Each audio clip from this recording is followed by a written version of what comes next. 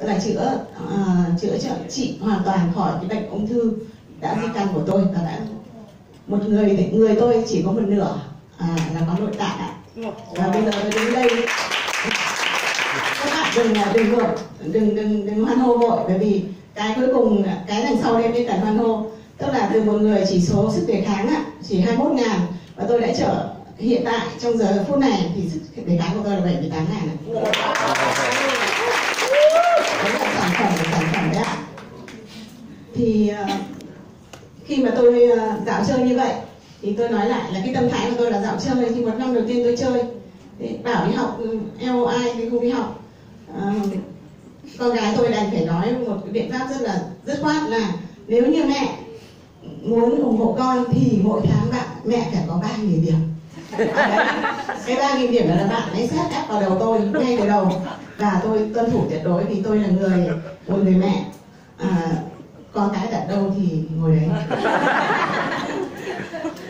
Cũng vì lý do sức khỏe mà tôi đã phải đưa ba con đi nước ngoài. Và các bạn ấy độc lập chiến đấu ở nước ngoài không có tôi. Và tôi luôn luôn nhớ luôn luôn uh, lo lắng và luôn luôn là muốn khát khao làm cái gì cho các bạn ấy. Và ba nghìn điểm ấy là cái khát khao của tôi trong một năm đầu tiên. Thế nhưng mà được 5 năm năm tháng đầu ạ ổn không sao ạ quen rất nhiều giới thiệu có uy tín thì là các bạn ấy hỗ trợ mình rất nhiều nhưng năm tháng thứ sáu thì choáng ạ. Không biết khách ở đâu nữa. Tôi ở đây thì tôi thấy có rất nhiều gương mặt lãnh đạo của uh, các bạn uh, phân phối ở Nuskin và cũng rất nhiều gương mặt mới. Thì tôi có hai câu hỏi một câu hỏi dành cho người mới và một câu hỏi dành cho các anh chị lãnh đạo à, chắc là anh chị lãnh đạo nói trước ạ. Mời chị Thảo Lê ạ. À, tôi muốn hỏi chị là trong thời gian mà chị dẫn dắt đội của mình cũng như trong thời gian chị trở thành executive khó khăn gì mà bạn à, mà chị cảm thấy là nổi trội nhất ạ? Nhất. Dạ cái chữ nhất đấy ạ. Nhất đúng không ạ? Dạ. À, chị thủy vừa đề cập tới một từ tại vì em cũng đọc vào tương tự đó là khi mà à, khi mà trong những tháng đầu tiên hồi đó thì mình trở thành uh, Ruby. À, trong vòng 6 tháng có nghĩa là 6 tháng thì mình trở thành Ruby. Và à, sau khi trở thành Ruby xong á thì à, nhìn cái danh sách từ đầu tới cuối à, của mình và lúc đó thì mình cảm thấy là sau Ruby là mình thấy là những cái người mà mình biết mà mình mình liệt kê cái danh sách cũng rất là nhiều các anh chị. Nhưng mà dường như là mình nói xong hết rồi mình chia sẻ với họ hết rồi. Ủa bây giờ mình không biết mình nói chuyện với ai nữa hết thì có lẽ là cái giây phút đó um, cái cái khó khăn của em thì nó có một cái khó khăn nữa đó là em bị sự cản trở rất là lớn. À, trong 6 tháng đầu tiên đó là ông ông xã với thảo thì phản đối kịch liệt khi mà thảo làm skin. Có lẽ đó là cái khó khăn uh, lớn nhưng mà nó gọi là khi mà làm việc với cá nhân của mình đó, thì ở lúc đó em cảm thấy là có vẻ như mình có phần bế tắc sau khi mình trở thành Ruby là không còn ai để mà chia sẻ nữa hết. Thì cái cảm giác cũng tương tự giống như vậy là cảm ơn chị Thảo chắc là cái này giống hệt rồi. Thế tôi xin hỏi các bạn mới ạ. Có bạn nào mới toanh mà chưa thành executive ở đây không ạ? Dạ mời chị. À,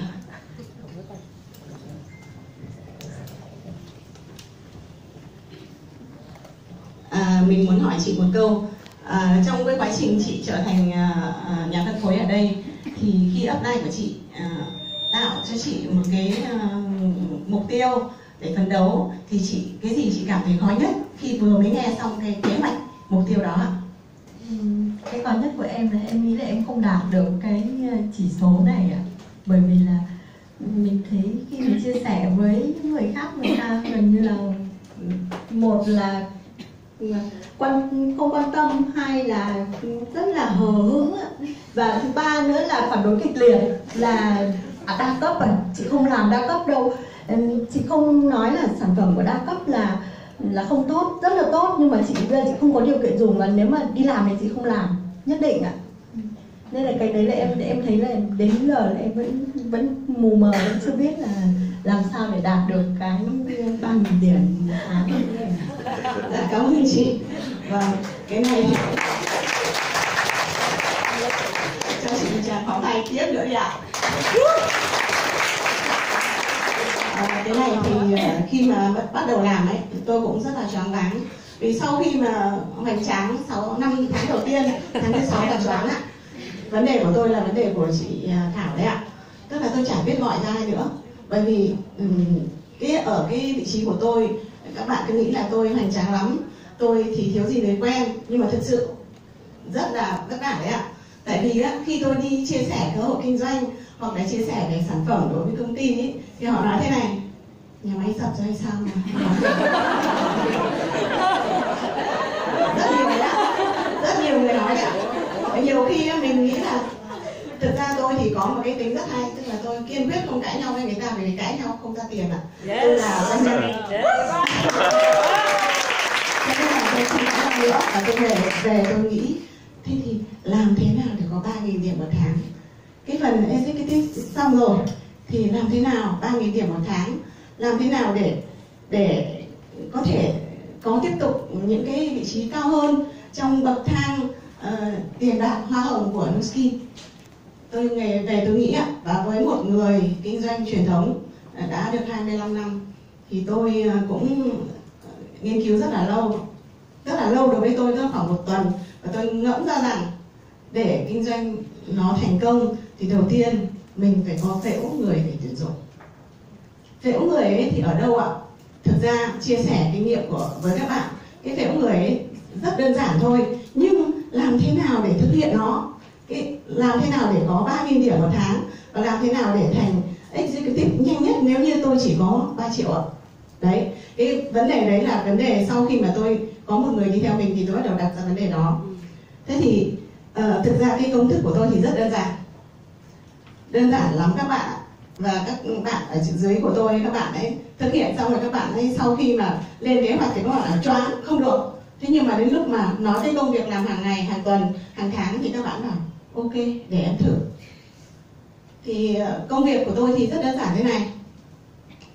Làm thế nào để em đạt được ờ, uh, 6.000 điểm trong thời gian ngắn nhất? Một cách thông minh nhất và đỡ tốn năng lượng nhất. Vậy thì làm thế nào? Rất đơn giản. Đối với một người đang quản lý hai nhà máy như tôi thì tôi chỉ có một cách duy nhất ạ. Kết nối. Kết nối tức là nhắn tin. Tôi không gọi điện được bởi vì một lúc tay có thể dùng mấy cái điện thoại và nhắn tin với rất nhiều người thì nó tốt hơn và có thể lúc ấy cũng, cũng vẫn đang họp ạ. Thế thì cứ kết nối mà công thức kết nối của tôi cũng rất đơn giản. Buổi sáng nhắn tin 10 người. Nhắn tin 10 người tức là thế nào? Ba người cũ đã từng nói rồi mà không không trả lời ba người mới mới tức là sao ạ? Mới quen ở đâu đó hoặc là đang đến kết nối với nhà máy. Ba người họ hàng chia sẻ về sản phẩm. Bởi vì trong công việc này rõ ràng là chúng ta không phải đi bán hàng ở ngoài luôn và cũng không ra cửa hàng mà chúng ta chỉ chia sẻ và bán hàng cho người thân người quen. Chứ chẳng có gì là ngại cả cứ chia sẻ. Vậy thì làm thế nào để có cái cái cái, cái danh sách chia sẻ cái vấn đề này lại là vấn đề vô cùng quan trọng lúc đầu thì các bạn cũng biết công thức là uh, bỏ ra uh, một buổi tối viết ra 200 lời quen nhưng mà cái danh sách ấy nó sẽ cạn dần. Vậy thì ở đâu ra cái danh sách đấy thì các bạn cứ nhắn tin. Và thêm một động tác nữa là tôi trước đây thì tôi chả biết Facebook là gì đâu ạ bởi vì chả có thời gian nhưng bây giờ thì tôi lại chăm chỉ lên đó. Nghiên cứu ví dụ tôi nghiên cứu thấy người nào là làm ngành dầu khí tức là ngành trong gia đình nhà tôi hay làm. Tôi nghiên cứu và người nào tôi biết nhưng không quen ép đã. đã họ nhìn thấy mặt mình quen họ cũng ép luôn. Đấy đấy là cái thứ hai. Cái thứ ba nữa là tôi ờ, kiếm những người nào mà uh, đang có vấn đề về mặt kinh doanh. Tôi nghe ngóng người ta nói thì tôi làm quen với họ để chia sẻ cơ hội. Tất cả những cái cái cái đó thì nó thành cái phễu người quen tức là 10 người một ngày. Cứ ba ba ba ba như vậy. Nhưng mà công thức làm ngày nào cũng phải làm ngày mai ốm cũng phải ngồi dậy làm. Ở đây có rất nhiều người biết ạ. Tôi cứ đúng 4 năm giờ sáng là bắt đầu nhắn tin. Cứ 4 năm giờ sáng là, là đồng hồ báo thức cho họ luôn đấy ạ. Cứ 4 năm giờ sáng nhắn tin liên tục. Thế là các cuộc hẹn và lên các cuộc hẹn trong tương lai. Có thể là những người của tôi nhắn tin họ rất bận. Họ không phải hẹn năm nay tháng sau. Hai tháng nữa mới về. Ví dụ thế. Tôi vẫn cứ lên cuộc hẹn. Và như vậy là thêm một cái nữa các bạn phải tập uống cà phê chuyên nghiệp. Thì tôi thì là người rất nghiện cà phê. Và tôi còn vẽ được ly cà phê nữa thế thì trên một buổi sáng tôi thông thường tôi pha cà phê tôi vẽ một ly và tôi gửi tặng tất cả những người tôi quan tâm đến ngày hôm đó. Và thế là xong ạ. Xong nhiệm vụ của tôi. Từ 5 giờ đến 7 giờ hoàn toàn nhắn tin. Và bằng các kiểu nhắn tin ạ. Zalo, Viber, WhatsApp hoặc là Ừ, điện thoại gọi điện. Hẹn gặp. Thế thôi ạ. Về ốp tuyển dụng của tôi như vậy. Và nếu như các bạn làm đi làm lại, cái đấy lặp đi lặp lại hàng ngày, tôi nghĩ rằng cái lịch gặp và lịch uống cà phê chuyên nghiệp của các bạn sẽ đầy quá. Không, tức là ba tháng đầu có thể nó hơi trống rỗng một tí, nhưng sau 3 tháng là nó sẽ đầy. Và đó là cơ hội để mình tuyển dụng. Thế thì sau khi mà chúng ta có giải quyết được vấn đề khó khăn về danh sách rồi ạ, thì tôi tiến hành hướng dẫn các bạn và bản thân mình. Bắt đầu phân loại danh sách. Phân loại là phân loại theo nghề nghiệp, sức khỏe, tuổi tác, giới tính và sở thích ạ. Đấy, khi phân loại như thế thì giúp chúng ta là một tin nhắn ta thể gửi được 10 người là vì thế. Chúng tôi gửi theo nhóm ạ, chứ không không không không gửi một người thì nó thì giờ quá vì còn có cả hình ảnh cả uh, trái tim trái chết các thứ. Chúng ta mà, mà gửi gửi nhiều quá thì mình cũng choáng ạ không có thời gian mà gửi. Và phân loại như vậy là giúp cho mình về sau này sẽ hình thành cái bảng theo dõi khách hàng chuẩn hơn và chuyên nghiệp hơn. Đấy là cái kinh nghiệm mà uh, làm việc của tôi là như thế. Và với tư cách là một nhà doanh nhân à, tôi nhìn nhận đến lúc mà tôi bắt đầu nghiên cứu thì tôi bắt đầu nhìn nhận rằng đây không phải cuộc chơi nữa mà cuộc cuộc chiến đấu thực sự. Mà chả lẽ bên kia mình thành công bên này mình dở hơi. Thì là không được. Thế là tôi bắt đầu là nghiên cứu làm sao chiến đấu như thế nào. Và với đôi mắt của một người làm doanh nghiệp cũng tương đối lâu thì tôi nhận ra rằng công ty Nuskin ngoài cái sản phẩm vô cùng quý báu là là cái công nghệ HLOG với cái viện nghiên, nghiên cứu về gen người thì nó còn một cái sản phẩm nữa à, một cái, cái tài sản nữa là vô cùng là đáng quý tức là cơ chế trả thưởng 5% và 6 tuần sau. Ai mà nhận ra được cái đó thì bắt đầu chiến như điên ạ. À. tôi đề nghị các anh các chị là chú ý cái phần này ngay từ lúc ban đầu. Khi đào tạo tuyến dưới đưa họ dẫn dắt họ là phải nói luôn về cơ chế trả thưởng. Như thế nào? Và ví dụ cụ thể ví dụ nếu bạn chỉ có một mình thì sao? Nếu bạn bắt đầu có người follow thì sao? Và nếu bạn là Ruby thì thế nào con số phải rất rõ ràng. Tôi thì cứ phải rõ ràng tiền bạc thì phân minh mà. Để làm kinh tế nó là phải như thế.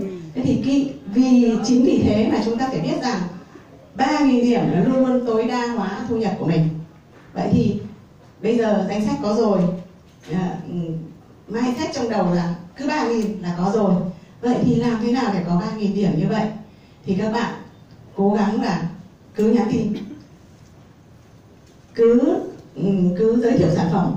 Nhưng mà trước khi nhắn tin và giới thiệu sản phẩm phải trở thành chuyên gia về sản phẩm đã. Không trở thành chuyên gia bạn ơi dùng đi tốt lắm. Chả ai có nghe. Thực phẩm chức năng đầy đúng không ạ? Sản phẩm chăm sóc sức khỏe đầy. Thế thì tại sao nó tốt? Và tốt như thế nào? Đó nó liên quan đến hai chuyện. Thứ nhất